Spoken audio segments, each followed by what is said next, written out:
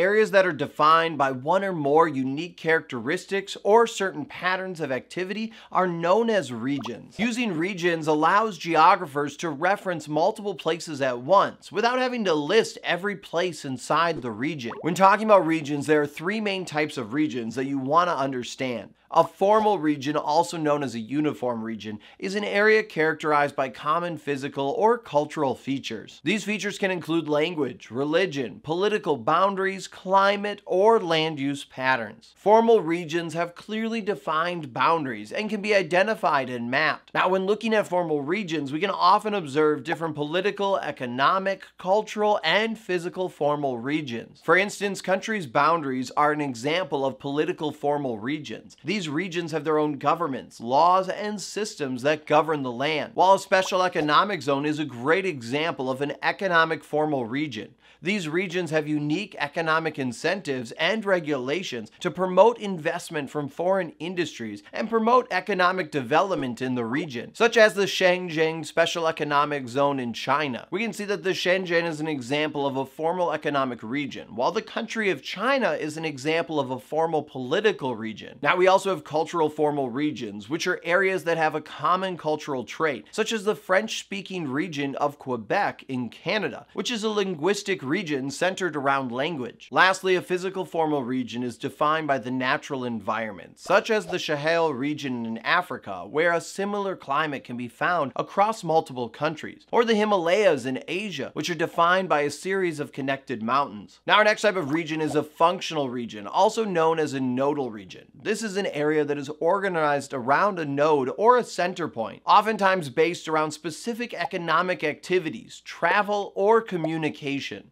Functional regions often see the different interactions, the flow of goods, ideas, or people all tend to gravitate towards the center point of the region. For instance, we can look at the urban hierarchy of an area where a large city is often located in the center of the region, with smaller settlements located around the larger urban area. The urban area creates a region acting as the economic and cultural hub of the area, as seen here when looking at Christaller central place theory. We can also see functional regions created by different transportation networks, such as airports, train stations, ports, or public transportation stations, such as subways or bus stops. All of these help facilitate the movement of people and goods between different places and act as a node for the geographic area they are located in. Or we could look at financial centers, such as Wall Street in New York, that serve as a financial hub for investment with the stock exchange. Lastly, we have a vernacular region, also known as a perceptual region region. This region exists in the minds of the people and is based around their perceptions, feelings,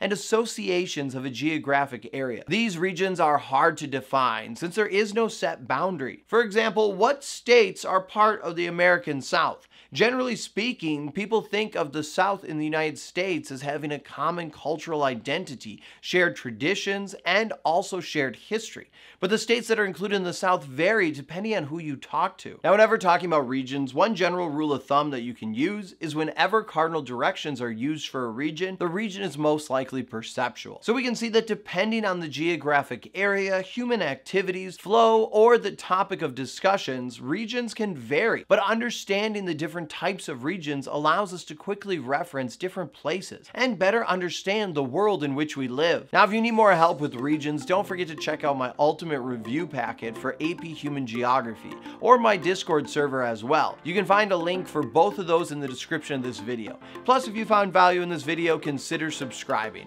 As always, thank you so much for watching. I'm Mr. Sinn, and I will see you next time online.